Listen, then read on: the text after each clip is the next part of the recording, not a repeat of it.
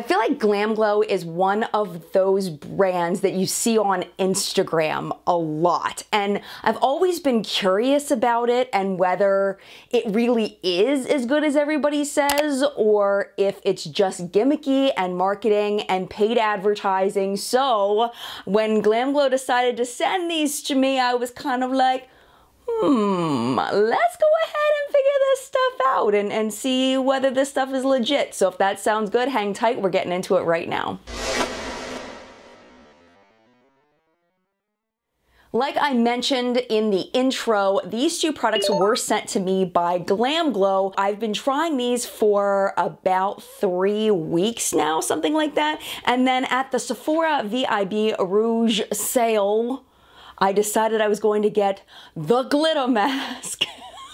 I haven't actually opened this and tried this yet, so we're gonna do a first impression on this, but I'm gonna give you full tested reviews on these two cleansers. We're gonna go ahead and go into what these products claim to do so you can decide whether these things are good for you or not. So first thing you need to know is that they are available at Sephora and Nordstrom and then glamglow.com, their website. They are not cruelty free. This is their statement. We do not test our products on animals nor do we ask others to conduct, conduct animal testing on our behalf, except where required by law. That's the same statement by L'Oreal and many other brands when they are not cruelty free. Basically, they're not going to test on animals unless they're required to, but in order to sell in China, they are required to test on animals, so they are not cruelty free. These products, however, are made in the United States. They do not contain parabens, but all of them do contain artificial fragrance as most skincare products these days seem to. As far as prices go, um, we've got here the Super Cleanse. This is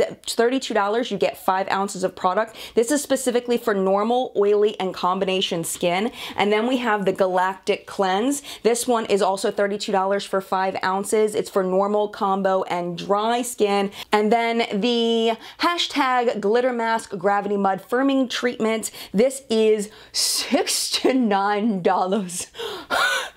$69. Okay, it's 1.7 ounces. It is the same product as their Gravity Mud. It's just glittery. So if you've ever tried the Gravity Mud, it's the exact same thing. It is for normal oily combo or dry skin. So uh, just so you know, my skin type, I do have normal skin. I don't have particularly large pores. I have a little bit of redness, but nothing that really, you know, can't be easily covered with a lighter BB cream. This is freshly cleansed face with no anything else on it. So this is, you're seeing what my skin is. I don't have problems with blemishes. Every once in a while I'll get some dry patches. So I would say if I had to lean one way, either oily or dry, I would say I lean a little bit dry, but not really to the point where it's any kind of problem where I have significant dry patches or anything. So as a skincare and makeup reviewer, it's kind of a blessing and a curse in that I can only review things from my normal skin perspective, except for when it comes to ingredients. So we're going to talk about the ingredients that are in these products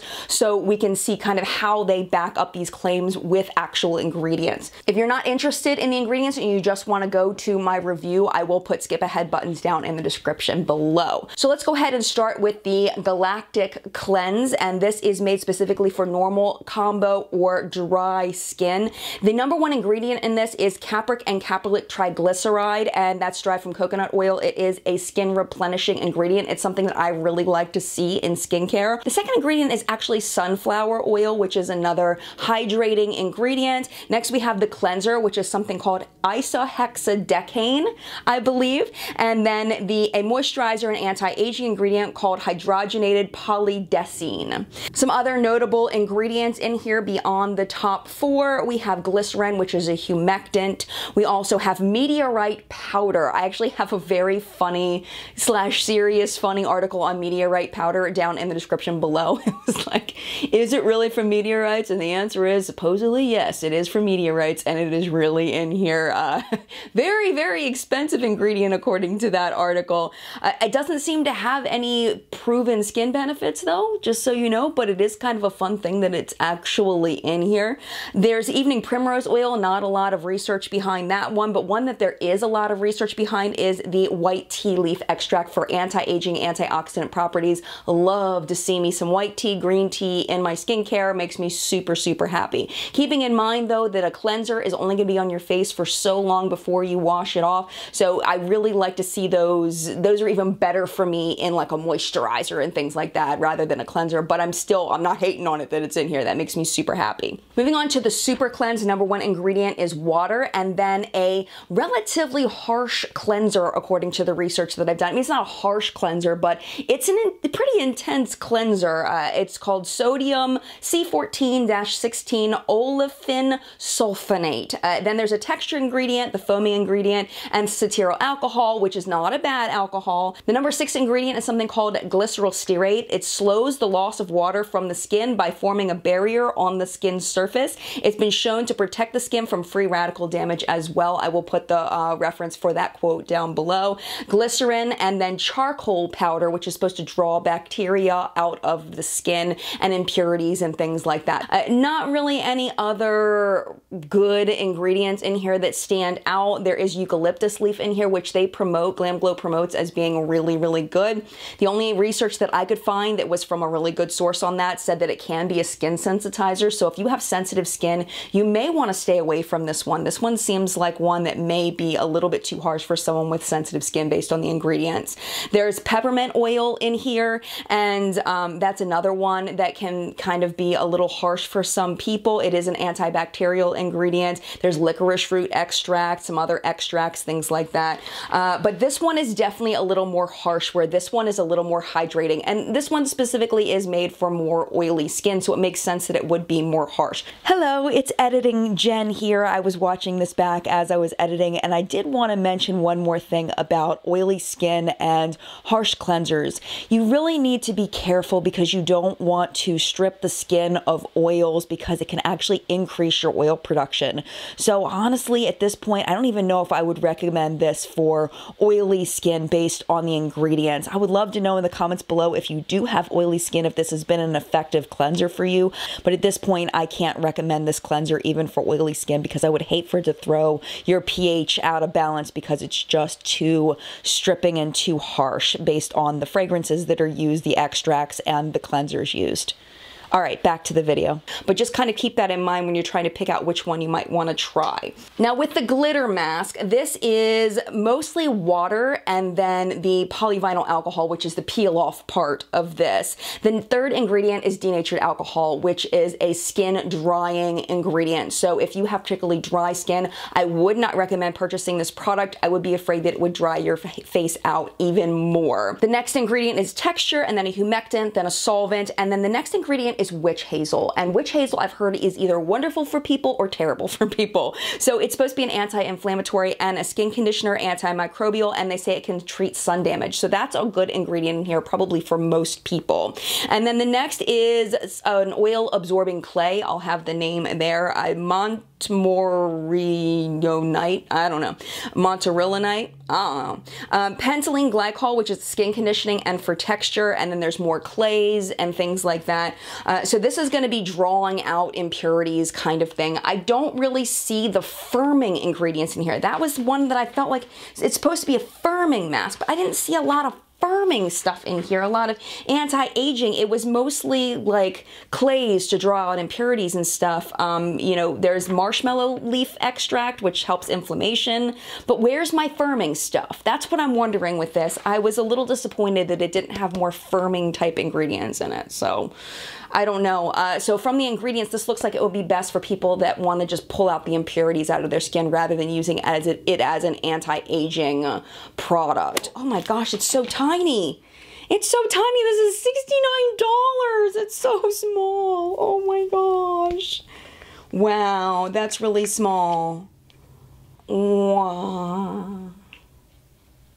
It's hard to place what it smells like.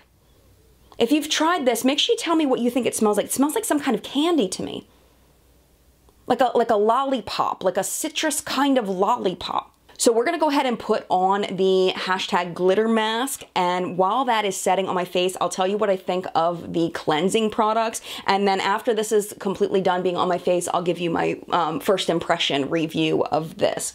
It says stir before use if required. This doesn't look like it needs to be stirred. It looks fine. Uh, apply a generous even layer to clean skin with a brush, avoiding eyebrows and hairline and leave on for 20 to 30 minutes. So let me go ahead and get my head wrappy thing. I'm just gonna go ahead, I can't find my bear ears. I don't know what I did with them, so I'm just gonna go ahead and put this regular headband on just to make sure my hair is out of the way as much as possible. And this is so fun. It's definitely very cute. Oh, it's dripping, it's dripping. It smell, I can smell it really strong. It smells really good. Definitely very candy-like, and it really is cute. I can see a teenager really loving playing with this.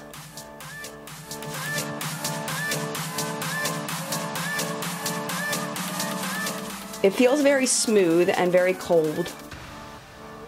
Oh, no, no, no, no. Oh, no. Not in my eye, not in my eyebrow. A little bit in my hairline, oops.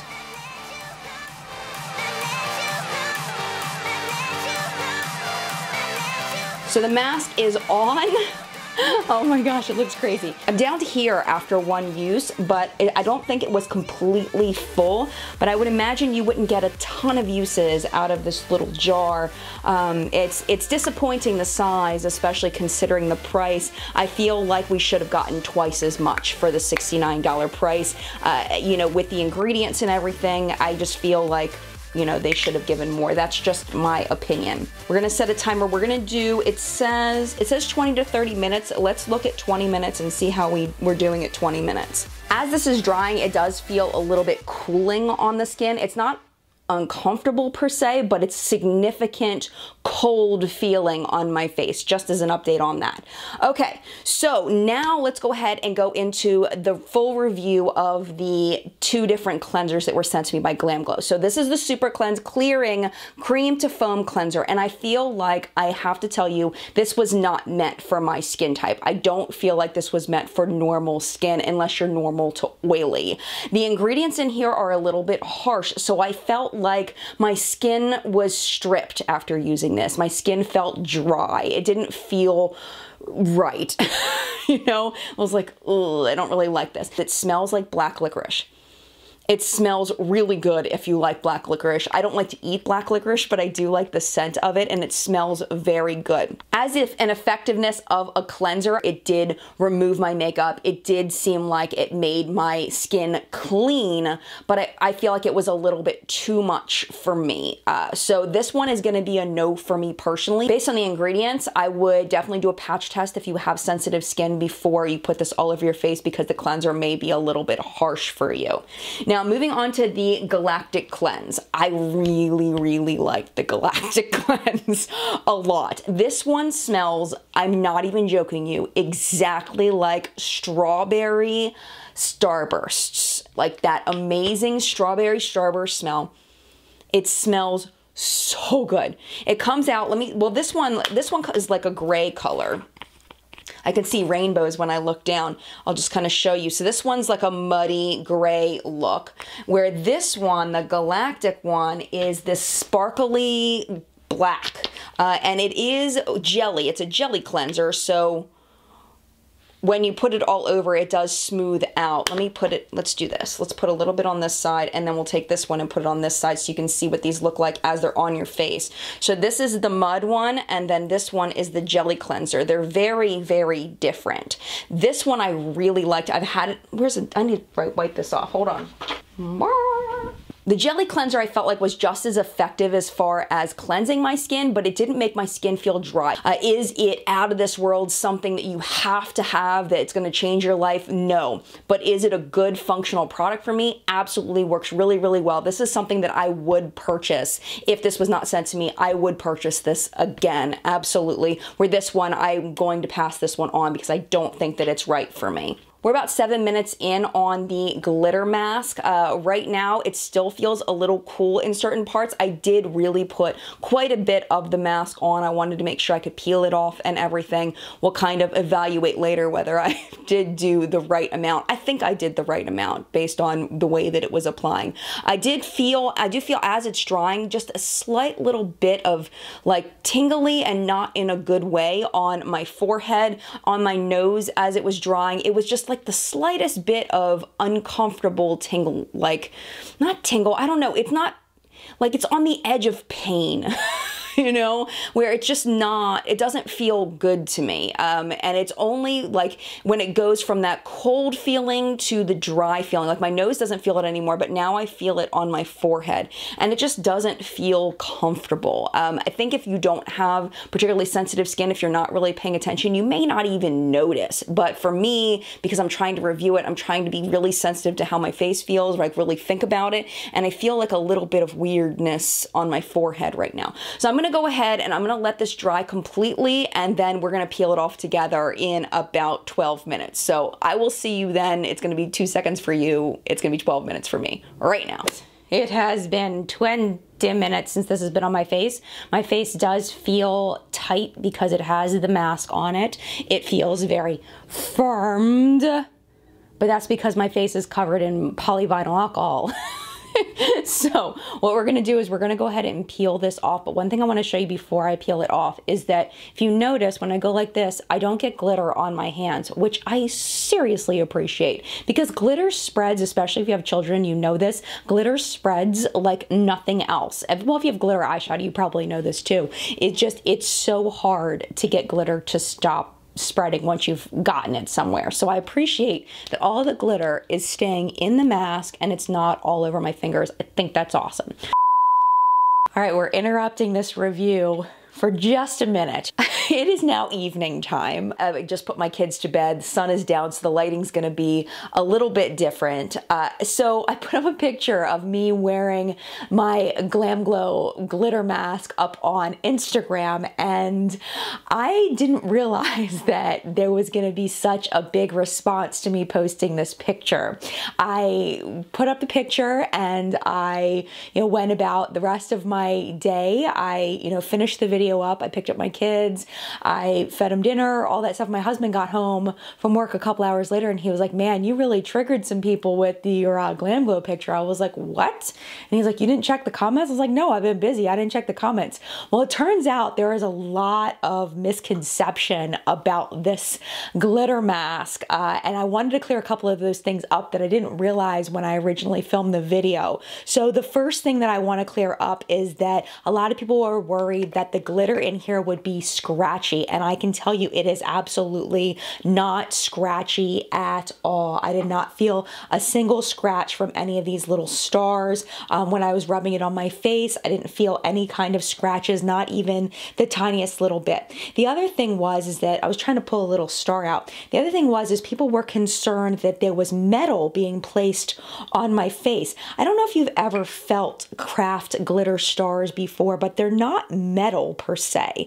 Um, they're like, I mean, I guess they they might be considered uh metal but they're more like a plastic than anything. I don't know. I mean they're typical little glitters. I mean, it's not like a rough scratchy like a piece of metal. You know what i mean? They're very thin um and it's like traditional little glitter stars. I mean, there's there's really nothing spectacular about them, but they're definitely not scratchy in any way at all. Uh, the other big, huge concern that I got both on my Facebook, because my Instagram posts directly to my Facebook, um, was about washing the glitter down the sink. And I think at this point in the video, you probably know that this mask is not a wash off mask. This is a mask that you peel off. Now, a lot of the concern environmentally with glitter has to do with the, the accumulation of glitter in the water. Uh, and because this is a peel off mask, there really isn't much to wash off. Um, you're going to see in a minute that I did have to wash off little specks of the mask uh, that were kind of left as residue, but I think that was partially my fault because I didn't let the mask dry completely. Um, I thought I did, but then when I went to peel it off, I realized that there were a couple of little spots that didn't dry completely, and I did wash those off. But the big chunks of glitter all can't come off with the mask and you're gonna see that in just a minute. So there really isn't a big concern with glitter going down the sink. I would be much more concerned with elementary schools that do glitter projects and washing off the paint brushes. I would be much more concerned about that than I would be about anyone using this mask. There's, I mean, is it perfect? No. Could it, could some of the tiny bits of glitter get into the sink? Absolutely. But I really feel like it would just be the smallest, tiniest amount. Of course, that can accumulate over time, but is it the biggest offender that we need to worry about as far as glitter going down the sink? I personally don't think so. If you don't agree with this mask as far as the glitter in it, then you totally should not buy it. Uh, it's very clear that there's glitter in it. If you don't like that, then, you know, that's definitely not something you should invest in. Uh, and it is big investment. We're going to get more into that when we get to the full review. So I don't want to spend too much extra time on this because there is more of my actual video to come, but I did want to address the Instagram comments. Let me just make sure I didn't miss anything. Okay, there's a comment that says glitter is not skincare, but the, I just want to make sure this is clear. The glitter in here is not meant to be skincare. It's just an added fun thing that they've put in to try to be, I'm assuming, unique and, and fun. Um, it's not meant to be skincare, and I didn't think that needed to be said, but I just want to make sure I put it in there just in case because I know if people are concerned on Instagram, there's going to be concerns on YouTube as well, and I want to address them because I know that there's going to be concerns. Uh, someone had mentioned to be careful putting it around your eyes. It should not get anywhere near your eyes. At one point, when I was putting it on, you may have seen a little drip kind of drip down into my eyelashes when I was putting it on my face. That was my fault. I just be really careful when you're putting it on your forehead, not to let it drip into your eyes. But I feel like if you're, you know, paying attention more than I was paying attention, then you shouldn't be getting it in your eyes. It's, it's not even supposed to get on your eyebrows. And I was not, I don't recommend putting it underneath your eyes. I feel like this area is very, very sensitive and you don't really want to put, in my opinion, a peel off mask in the hollow of your eye. I feel like it should kind of stop at your cheekbone where your skin isn't quite as delicate. So that was it for the Instagram concerns. If you have any additional questions about this mask after the video is over, feel free to leave those in the comments down below and I'll answer them as best as I can. This video is for information purposes only. I don't have an agenda here, okay? I am not, you know, going for the brand. I am not, you know, trying to say that it's bad for no reason. I'm just trying to tell you the truth of what the ingredients are and what my personal experience is with these products. So just know that, that that that that you know this is just me trying to provide information for you and you at this point is your job is to decide whether this product is right for you or not. All right, I'm done with the disclaimers. Let's get back to the regular video with much better lighting. So let's go ahead and peel this off and I'll tell you kind of how my face feels as a first impression. I'm trying to get a good spot to peel it over here on the side. A little bit painful because I've got some baby hairs over here. I noticed as I was Snapchatting this look, I'm Jen Loves Reviews on Snapchat, by the way. As I was Snapchatting this look, like it's a look, um, I noticed that I didn't do my upper lip. It is what it is. I don't usually put face masks on my upper lip, especially the peel off kind, because I've got baby hairs there and it kind of hurts. So it's a little bit uncomfortable, but oddly satisfying. Peeling my face off. All right, here comes na na na na na na na na na. I feel like I'm ready to go to one of those costume parties now. Like I have one of those cool glitter eye masks on.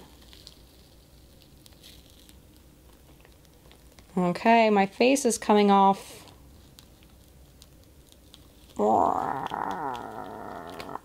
Well, it broke. I was trying to take it off in one piece, but I missed.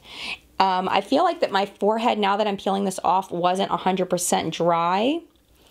And it might have been because I put it on too thick. And it does recommend you can do 20 to 30 minutes, so that's probably my fault. I wouldn't blame the mask for that. Okay, let me see how my face looks. It just came off like that, and I'm gonna throw this in the trash. This should not go down the sink. I do still have some mask on my face. I think that's due to two reasons. Number one, I put it on quite thick. And number two, I left it on for the minimum amount of time, which was 20 minutes. So if I had left it on for the full 30 minutes, then it probably wouldn't have all of this because the rest of it did come off very easily. Before I splash my face with some water, I just want to kind of talk about how my face feels. It feels normal. Like my face feels like it hasn't it doesn't feel like it's been cleansed. It doesn't feel tight or dry or particularly oily or hydrated in any way. It just kind of feels normal. I'm gonna go ahead and wash off what I have left on my face at this point and then I'll kind of tell you how my skin feels just from touching it. But for right now, my skin feels good. It feels nice. The rest of the mask is now off. It was very easy to come off with just a little bit of warm water very easy to come off. Again, I think that was my fault. I wouldn't blame the mask for that. Um, but my face to the touch feels normal. I don't feel like it really did anything immediate and magical. But as you know, skincare takes a very long time for it to show any results. But based on the ingredients, I don't think that this is worth the $69 except for the fun factor. For the fact that you have these really fun holographic glitters all over your face. You're peeling off the mask so it's got that, you know, tactile, you know, oddly satisfying feeling pulling it off. It wasn't incredibly painful. Just around wherever I had any baby hairs, uh, it was a little bit painful, but it wasn't bad at all. Uh, at all. I really think that what you're paying for here is the experience, not the actual skincare. If you have tried the Gravity Mud, which is the exact same formula as this, or this for a longer period of time than a first impression, I would love to know your thoughts on it in the comments below, or if you have experience with either of the cleansers, please let me know in the comments below. We are the collective brain of makeup awesomeness. This review isn't just about me and my opinions. You are the other part of this, and reading down below other people's experiences is part of the whole thing of my channel that it's it's about all of us together working hard to make sure we're spending money on the things that are worth it and saving our money on things that are crap. So if you want more information on these, I would definitely recommend reading the comments below and also please sharing your experiences so people can learn from you. But for me, at this point, the only thing that I personally would recommend from something that I like is the Galactic Cleanse, which I absolutely loved. Uh, this one, maybe if you have oily skin that's not sensitive, and this one if you want something really fun without a ton of skin benefit. So I want to thank you so much for watching this video. I hope you enjoyed it. I hope you found it helpful. Thank you so much to Glam Glow for sending me the cleansers. I really appreciated being able to try your products and mad love to you, my friends. If you're not already subscribed, please click the subscribe button down below for future content, and I will see you in a video very, very soon. Bye!